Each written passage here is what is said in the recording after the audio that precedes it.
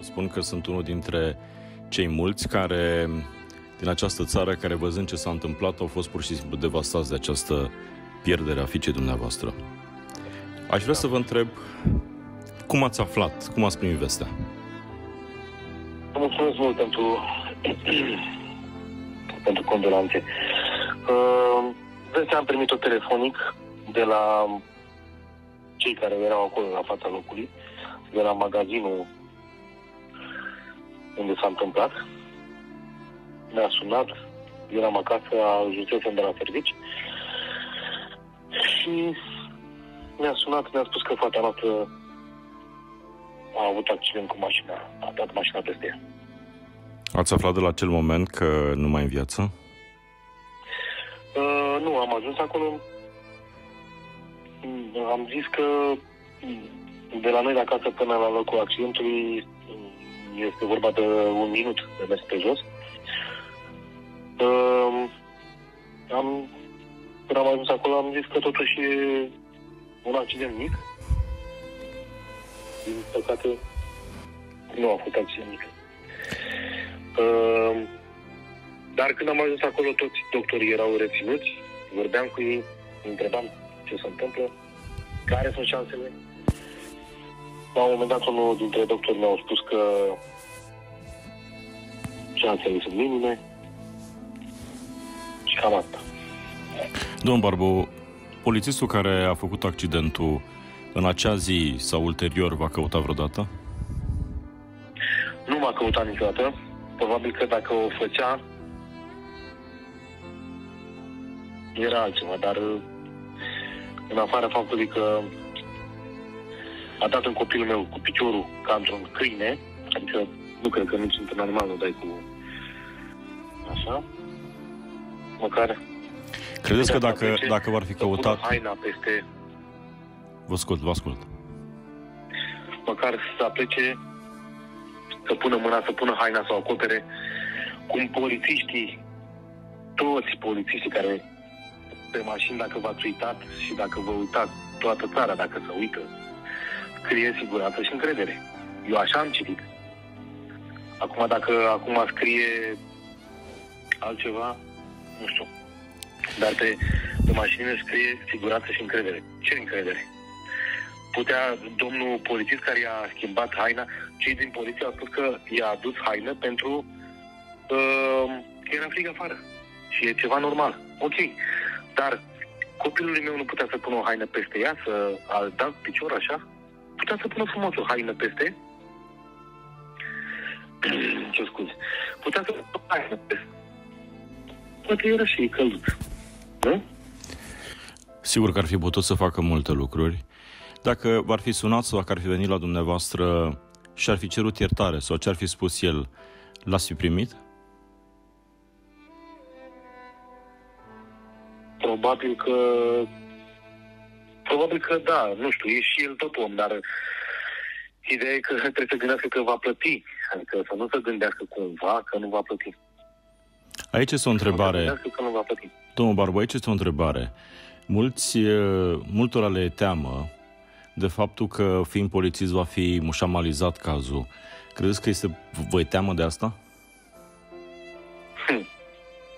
Având în vedere că uh, trăim în această țară, trăim în România și șpăgile sunt la toate colțurile spăgile, nu mă refer la, uh, nu știu, în piață dai o șpagă să iei un cântar ca să-ți cântărezi marfa sau... Mă refer tot la ei, polițiștii. Și credeți că... Părinții lui sunt în poliție. Eu întreb, cum a ajuns el în poliție? Dacă el are, nu are școala de poliție făcută. Cum a ajuns el? Eu sunt un biet angajat pe șantiere, electrician. Da. Păi și tata nu m-a angajat polițist. Păi cum l-a angajat polițist? Și nu are școală. Eu aș vrea să răspundă cei care l-a angajat. Cei care i-a dat mașina pe mână. Nu numai polițistul să răspundă, și cei care i-a dat mașina pe mână să răspundă. Cum circulă el? Eu aș vrea să, aș vrea să întreb pe domnul polițist două, două lucruri. nu, o, o singură întrebare să-i adresez și să îi mai spun încă ceva. Va avea și el copii și va suferi și el la fel ca noi. Pentru că Dumnezeu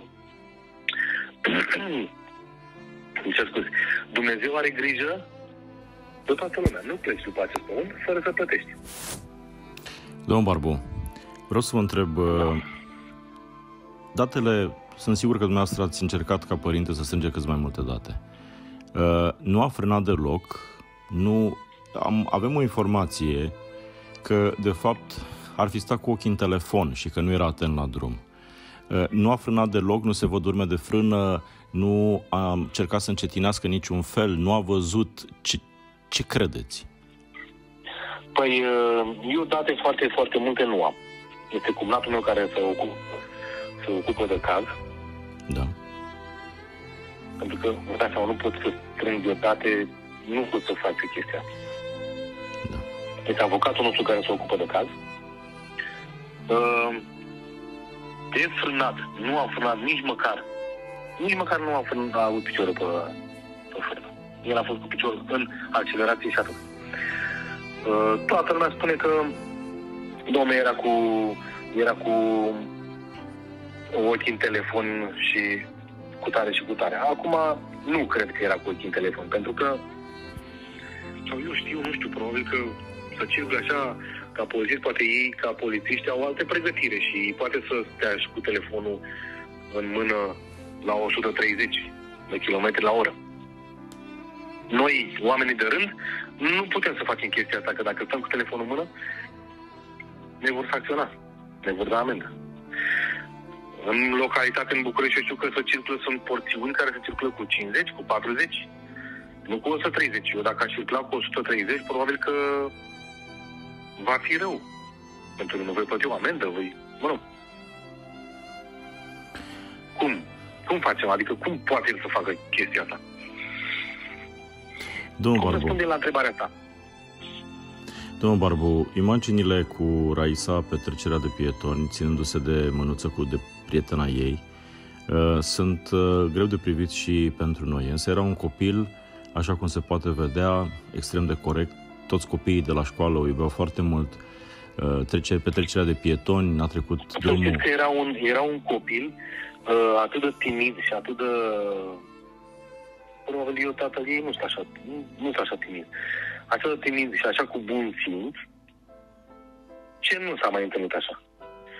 Ea a trecut de atâtea ori pe trecerea aia de pietoni, singură, a mers de atâtea ori la școală. Și cu Marina, colega ei, care s-a întâmplat accidentul, mereu treceau, că să vizitau și treceau. Dar uh, băiatul ăsta a reușit așa să o ia. Să le provoace rău. Și era un copil extraordinar. Povestiți-ne un pic despre ea, cum era Raisa? Era un copil cu foarte mult bun simț. Uh, nu deranja. Acum nu că vorbesc că era că e copilul meu, dar uh, nu deranja. Nu știu dacă uh, cei după stradă Acum știți că părinții între părinți pe stradă, într-o comunitate, se ceartă pentru copii, se ceartă, puteți întreba vecinii. Da. Să vedeți dacă ne-am certat pentru copilul sau dată. Că știți, adică toată țara știe că dacă ai copil, știi, ea cu jucăria celălalt vine tatăl și să ceartă și cu Copilul n-a făcut așa ceva niciodată. Era un copil cu foarte bun simț, cu minte, timid, uh, nu vorbea decât dacă era întrebată, pentru că așa, am, așa am educat-o. Așa m-am zbătut să o educ. Dar încă o dată, domnul polițist va avea și el copil și va vedea. Bunicii lui, tata al polițistului, vor avea nepoți și vor vedea despre ce este vorba. Dumnezeu are grijă și le așează pe fiecare la, la rândul lor. Domnul Barbu, mai aveți uh, un copil, uh, soția dumneavoastră, uh, fără să intrăm în detalii, cum, cum vă păstrați echilibru zilele astea care sunt foarte grele pentru familie? Hm. Cu greu, vă dați seama că Sebi, băiatul meu, a spus nimic. El nu știe? Momentan. Nu știe. Uh, ceva, ceva a spus soția că Raisa s-a dus la îngeri și ne veghează noaptea. Ceva, ceva i-a spus. Încercăm să, să-l pregătim cumva, să că probabil că va, ve- va vedea că lipsește atâta și... Da. Ce să zic? În condițiile în care cazul se va mușamaliza și uh, vor încerca să-l scoată sau să-i dea o pedeapsă foarte mică, uh, veți merge în justiție, veți încerca să o faceți dreptate? Păi noi deja am început să ne facem dreptate. Adică nu, nu va rămâne. Adică îi, îi, îi, îi, voi da, îi voi da, are să-i dea uh, un an, doi de pușcărie. Probabil că îi va executa, n-are încotro. Dar uh, noi ne facem uh, treaba noastră, pe partea noastră. Pe...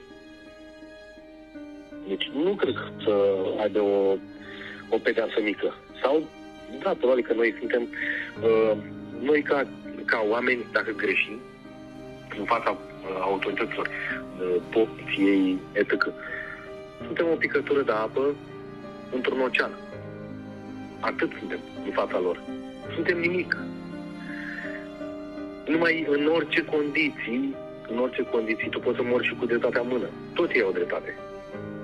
Acum, eu sincer să vă spun, sunt le-am spus la capul locului. De, au, deci, dumneavoastră vă dați seama dacă au avut la un accident rutier de... Uh, au, au chemat mascații pe bune, adică chem mascații pentru ce oamenii au alte treburi. A, a, da, da, îmi cer scuze. I-a chemat ca să-i protejeze tot pe ei. Tot pe ei. Înțelegeți? Cealaltă, cealaltă fetiță, Marina, uh, e în afara oricărui pericol? Marina am înțeles că s-ar putea, nu știu sigur, să-i dea drumul mâine de la, de la spital. Dar probabil și ea e traumatizată de ce s-a întâmplat. Uh, da, ea, mama ei a spus că a murit Raisa și ea era șocată, șocată. A zis că îi pare rău că n-a ajuns la școală. Și ea săraca nici nu își dă seama că... Da. Da, Domnule Barbu, vom trece. polițistul uh, n-a avut uh, demnitatea, n-a avut onoarea să vă caute, să vă sune, să vă scrie o scrisoare Nu. sau eu știu ce. Dacă dumneavoastră Nu. însă ar fi să-i spuneți ceva, ce i-ați spune? Nu onoarea. Nu onoarea. Bunul simț, măcar atât. Bunul simț, așa e. Nu știu. Păi, în primul rând, uh, părinții l-au educat foarte prost și mi-asum tot ce spun, vă rog să dați pe post chestia asta.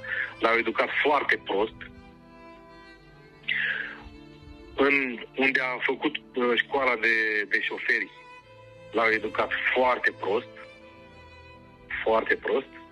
Pentru că, vă dați seama, N-ai cum să circul, dacă circul cu, cu, cu 70-80 pe aici, pe, la minorile, cum se să circulă cu 40, cum am spus eu că 40, vis-a-vis de, de frânare, că uh, dau dintr alta, dintr-una într-alta, vis-a-vis de frânare, nu au avut niciun gram de frână.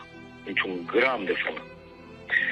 Cu 40 la oră oprește o mașină indiferent și o Dacie 1310, cu 40 la oră oprești în 3 metri, 4 metri.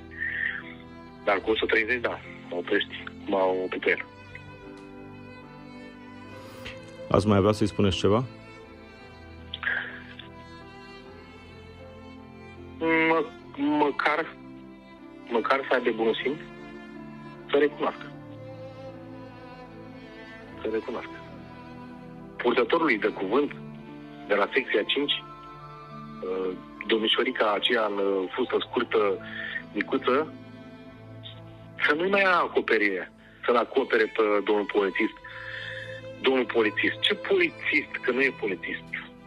Un polițist, în adevăratul cuvânt polițist, se vede în Statele Unite, se vede în uh, Franța, se vede în Germania, se vede în altă, nu la noi. La noi nu. Ăștia sunt, uh, nu sunt polițiști. Nu sunt polițiști. Să nu mai acopere. I-a adus haine pentru că era frig. Fetiței mele nu, e, nu este frig acum? Nu i-a fost frig? Păcat. Păcat că se întâmplă așa ceva. Păcat. Spunea că a fost, venea de la școala 100 nu știu cât, poate vă informați dumneavoastră să vedeți la ce școală venea, să vadă dacă elevii poartă mască. Tot bune? A, și te întorceai cu 130 de km la oră înapoi la secție. De ce? Să raportez că, da, purtau mască. Eu nu știu dacă... Uh, eu n-am văzut niciun polițist cu mască, cât a fost accidentul, cu mască la gură. Probabil că eu am fost într-un șoc și nu aveam cum să văd, dar cu toți care am stat de vorbă, nici măcar, deci întrebam și îmi întorceau spatele, întrebam de vorbă, unde e polițistul? Vreau să-l văd și eu. Nu, nu-i fac nimic, că să și, erau și cei de la trupele antitero sau ce sunt, nu știu, de la mascați, erau și jandarmi, erau. Doar vreau să-l văd în față, să-l întreb ce a avut el copilul meu, atâta. Și îmi întorceau spatele. Un dintre polițiști, hai lasă-mă, domnule, pace, că eu acum am venit. O, bune? Îmi spui chestia asta ca pe un... Da, mă rog. Asta este.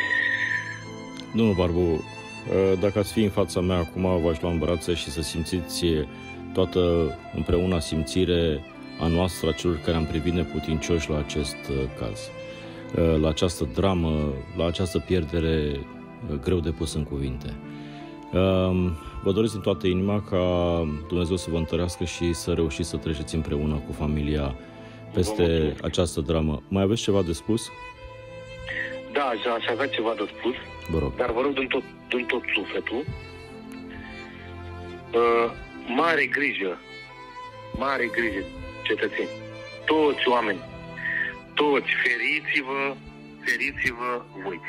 Nu mai luați în considerare ce scrie pe mașini, siguranță și încredere. Nu există, nu există siguranță, copilul meu n-a avut siguranță, n-a avut încredere. Nu există siguranță și încredere. Nu, feriți-vă voi. Uh, ei, nu, ei nu vă păzesc, păziți-vă voi. Ei nu ne păzesc. Din păcate, asta e. Pentru că trăim în România. Asta pot să spun. Și vă rog mult să să dați tot interviul. Vă promit, tot. vă promit că tot ce mi-a spus. Și, să, și toți cetățenii, toți oameni buni, feriți-vă de ei, că ei nu ne feresc. Ei nu ne feresc. Feriți-vă de ei. Atâta. Cinste pompierilor pentru că un pompier probabil că nu, nu știu cine era acolo, era un domn de la Smurd care cu cu el colaboram și îi spuneam, domnule, sunt tare, pentru că sunt bărbat, sunt tătic, asta e fata mea acolo, dar vă rog să spuneți fair play, ce șanse sunt. El, săracul, îmi spunea, domne, din păcate, sunt șanse minime. Atât. În rest, poliția nu avem încredere în ei. Nu avem încredere în ei. Pentru ce?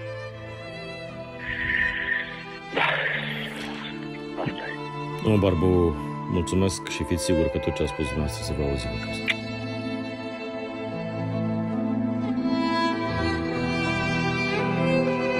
Acesta este primul interviu pe care îl difuzăm în această seară, realizat cu domnul Barbu, tatăl Raise.